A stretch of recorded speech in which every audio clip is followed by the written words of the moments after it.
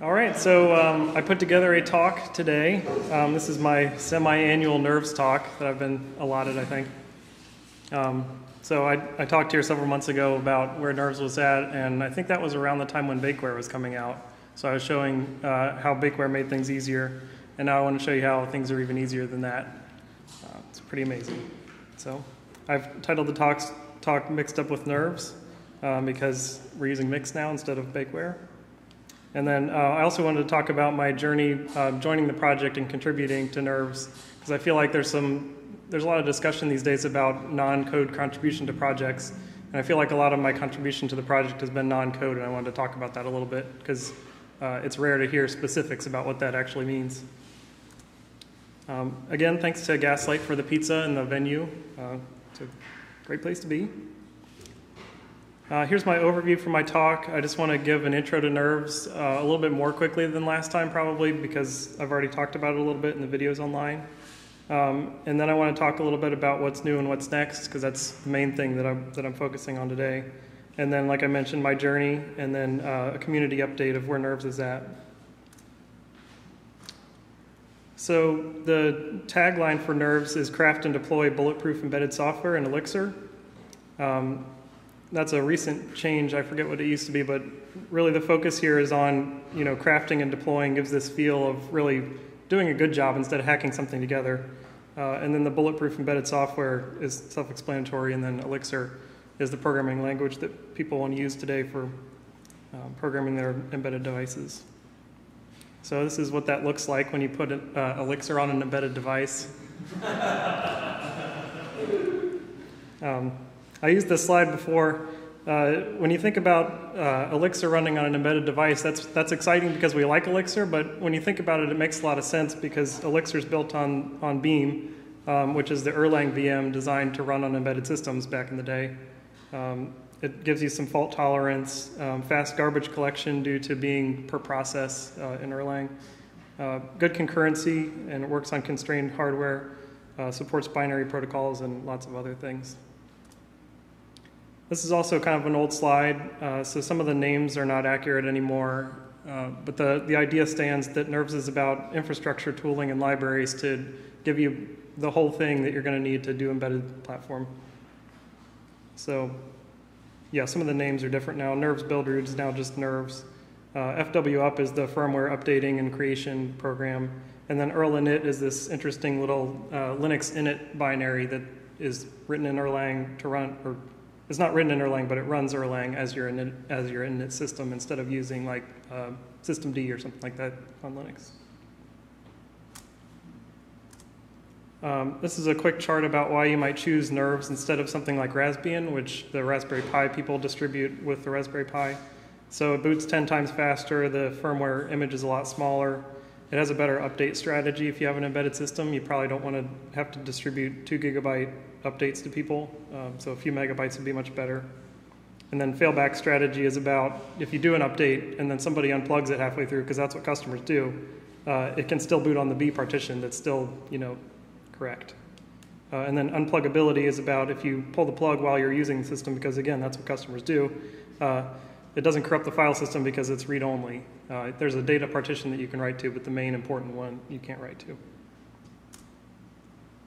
So today there's support for a lot of boards. On the top is all the Raspberry Pis, and then you have BeagleBone Black, uh, Intel uh, Galileo, and Lego EV3. So I think that Edison that you're passing around is similar to Galileo, but I don't think it's the same. Yeah, it's, it, it uses the Galileo, Galileo hardware, but there's another. Yeah.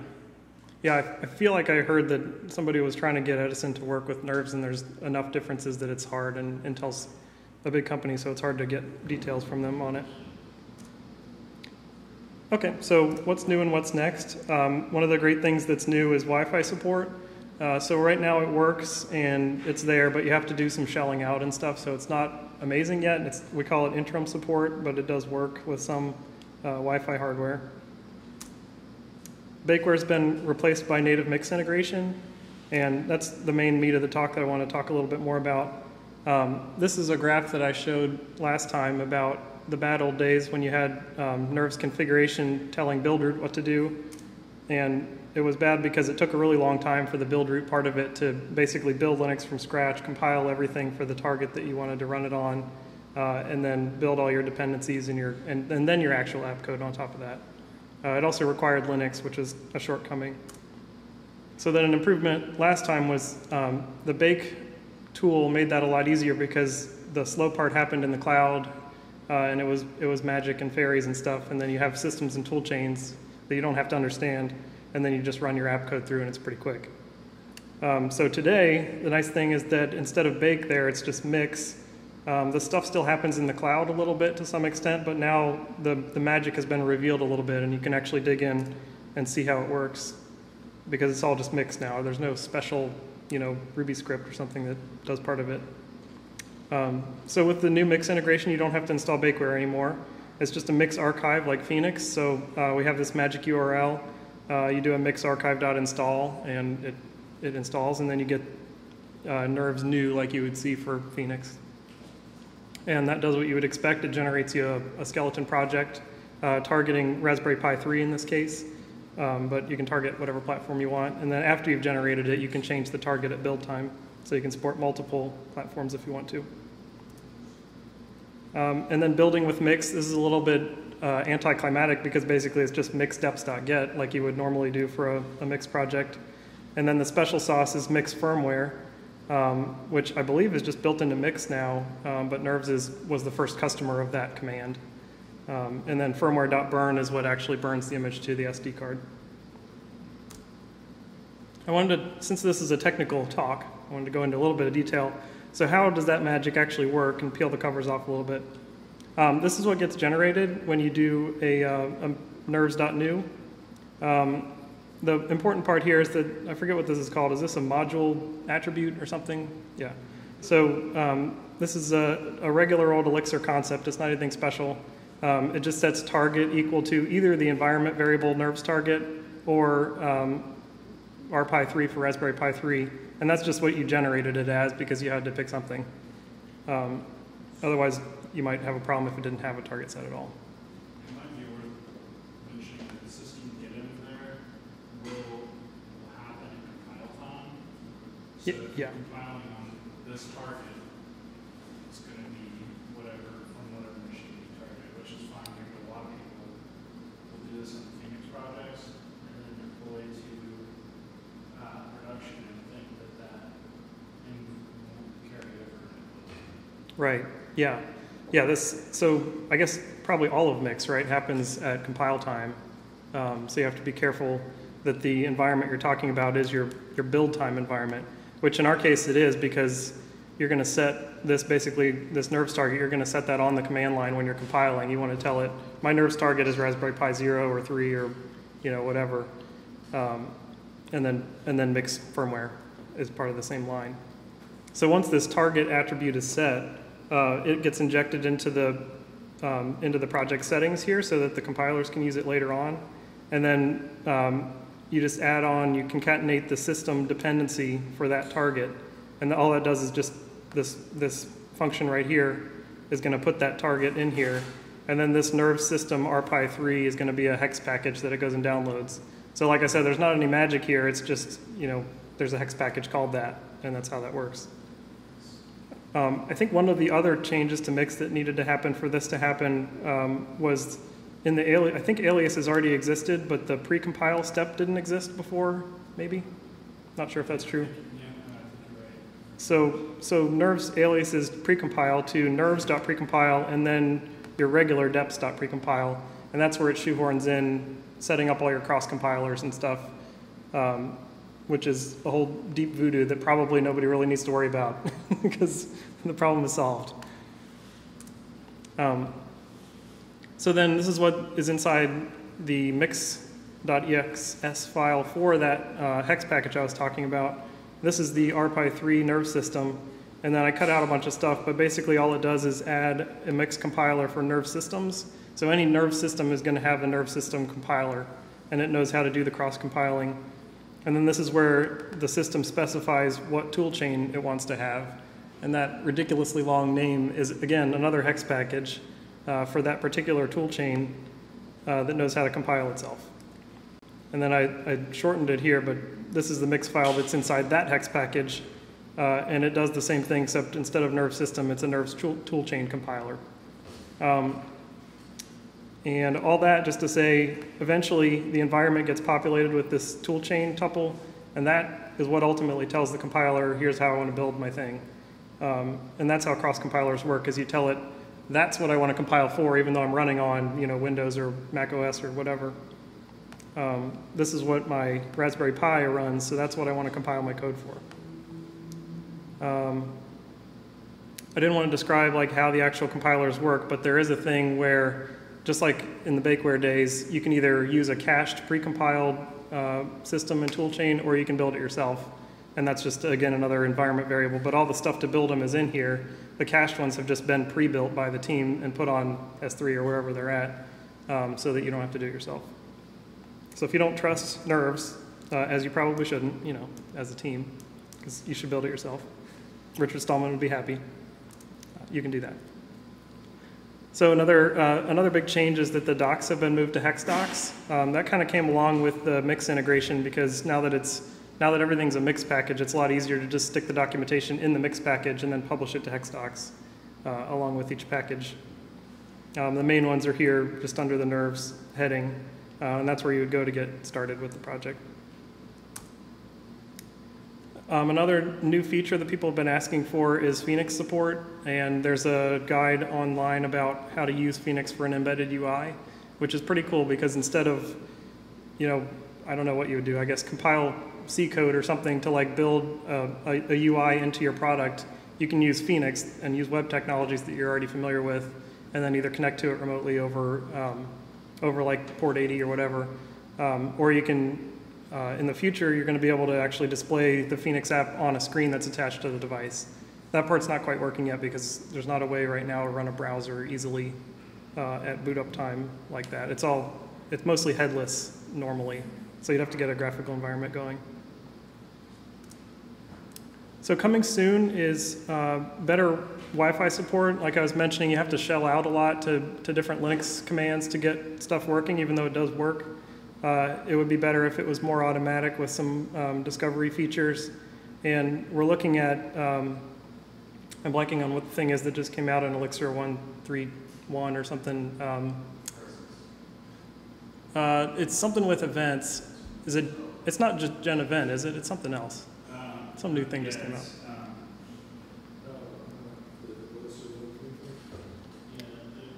It's like brand new. Yeah, it's some kind of some kind of eventing system that just came out uh, as a as an OTP thing.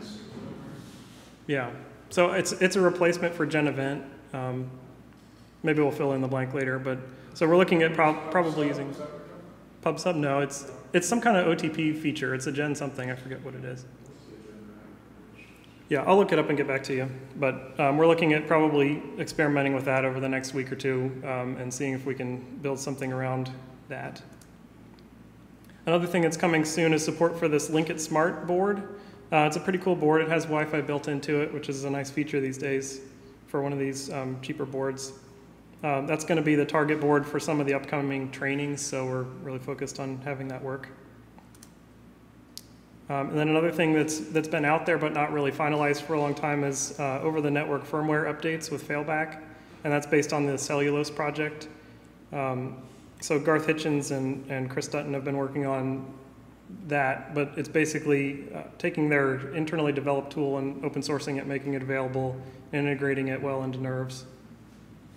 Um, so that'll allow you to do like, you know, discover your node on the network, push a firmware to it, and then make sure it worked um, and, and fail back if it didn't work. And then also coming soon is Windows support. Uh, I've been personally working a lot on that to get uh, FWUP, first of all, working on Windows. Um, because, yeah, so currently if you're on Windows and you want to burn an SD card, you go download this binary from SourceForge, and that's how people do it. It's pretty cool.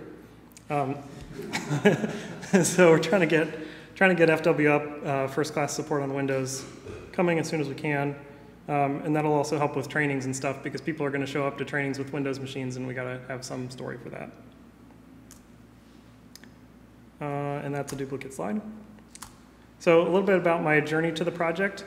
Um, I started with an interest in Elixir, thanks to James here, and um, just started coming to these meetups and, and learning a little bit about Elixir.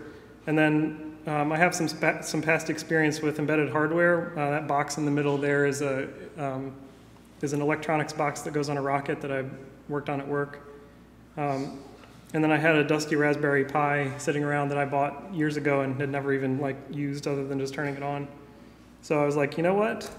I saw this talk by Garth Hitchens, uh, ElixirConf Conf 2015, and it sounded like, wow, this nerves thing is really cool. Why is nobody using that?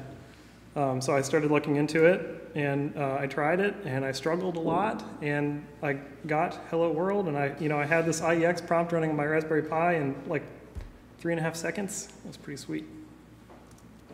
So I wanted to get involved, uh, even though I was pretty new to Elixir at the time.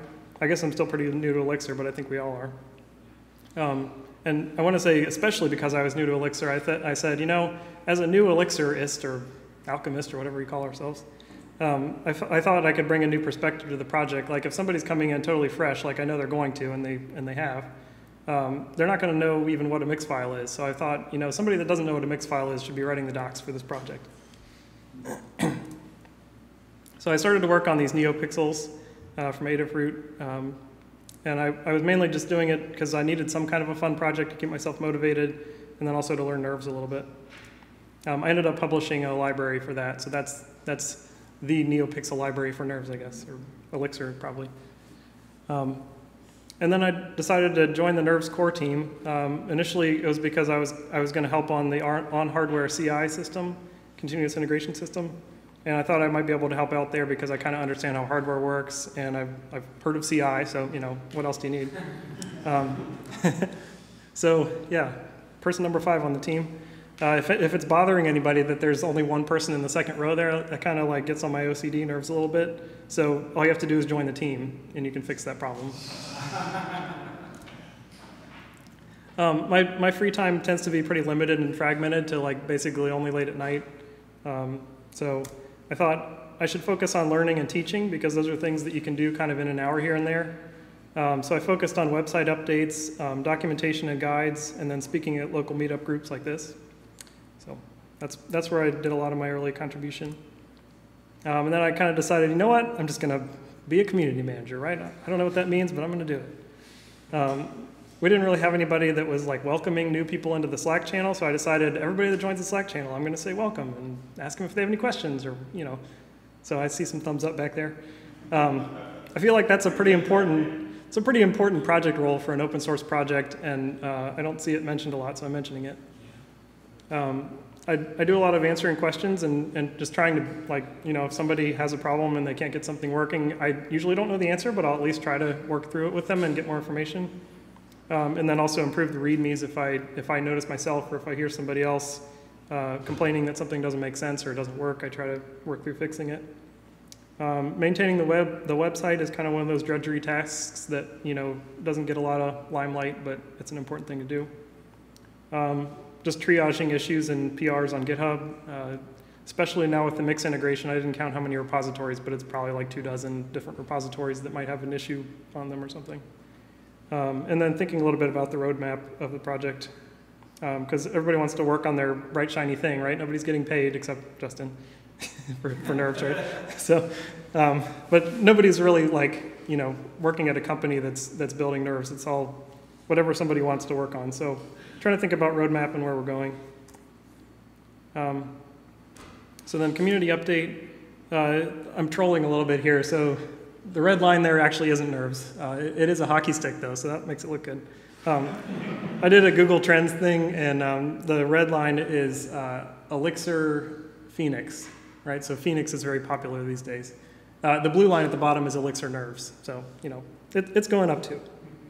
If you zoom in, it'll like. Yeah, I don't think Google Trends will let you do just one thing. Well, maybe it will. yeah.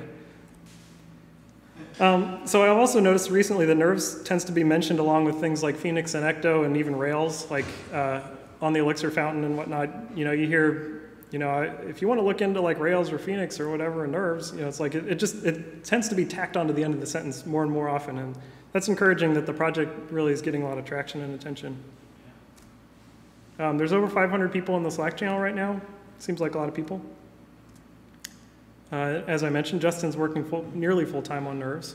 what? What? We hadn't heard. Um, so that's that's exciting news because that, that that says that there's at least one company that's really you know buying into this and saying this is the future of what we want to do, and um, we're going to put some money towards it.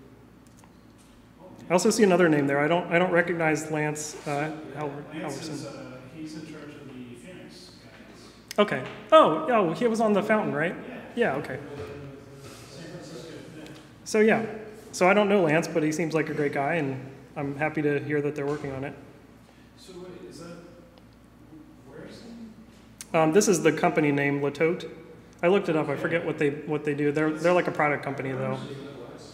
Lance went there. Okay, so Lance was at GoPro. I was excited for a second because I thought, wait a second, GoPro and nerves, that seems really good. Uh, Okay, that makes, Yeah. So that's a good sign that, that their, you know, their focus is really pushing nerves to 1.0 and, and getting everything polished up. Um, there's also a thing called Nerves Camp coming up here very shortly uh, in New York City at the United Nations. So um, that's pretty exciting because the, um, the open camps people have said that if, you know, if Nerves Camp works out, well, they want to do it every year as like an in-between ElixirConf EU and ElixirConf US kind of nerve-specific uh, event. And then, of course, there's also ElixirConf, where there's going to be uh, one of the training session days is um, badge hacking with nerves, uh, which sold out. I forget how many people, like 30, 40 people. Um, so uh, I got I got approval to go help teach there, even though my name's not on the list. But uh, my company is very graciously paying me to go, um, and also go to the conference. So that's exciting. And then there was also just a whole bunch of talks at ElixirConf EU and the upcoming US about nerves, which is exciting. All right, so how you can help. Um, you can try out one of the guides, report anything confusing or broken. Um, you know, fix it yourself if you want to submit a PR or let me know. Um, and I want to say again, especially if you're new to Elixir, if you don't really know how Elixir works, um, see how far you can make it. That's my challenge. And then let me know. Um, you can share your Nerves-based project, and um, we'd like to feature it on the website. So I'm glad that Tim was able to put together the uh, quiz game tonight and show off how awesome nerves can be. See, I mean, like you could build something like that. That would be amazing. Um, and then if anybody uh, like design-ish wants to like work on the website, uh, the website for nerves, I didn't like put a screenshot. That would have been a good idea. Um, we would like to make it look nicer, not necessarily like a big time commitment, really just like, you know, a basic website that has good typo- typography and stuff. Um, I almost signed up to do it myself, but then I remembered every time I do that, I regret it, and I never want to do CSN again in my life. CSS again. So, if anybody doesn't feel that way about CSS, uh, let me know. Uh, you could write a guide. So, uh, I'm sure Tim learned a lot of things while he was building the, the quiz board, so I expect to see some GPIO guides or something. no, you already, you already contributed on the other, the other front, right? You That's can, like the biggest question that in that channel, is how do you use Elixir? Yeah.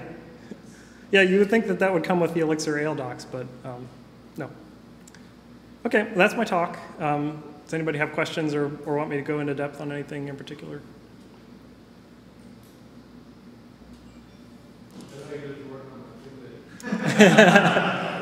Yeah, so the Raspberry Pi Zero uh, falls under the Raspberry Pi target.